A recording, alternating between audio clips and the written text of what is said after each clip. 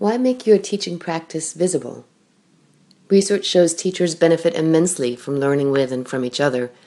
As a teacher, you benefit from tapping into the courage to open up your practice, be transparent and reflective, ask for critical feedback, and want to be observed in action as a way of improving that practice. And that courage is a constant source of inspiration. How do you encourage your colleagues to engage with your practice?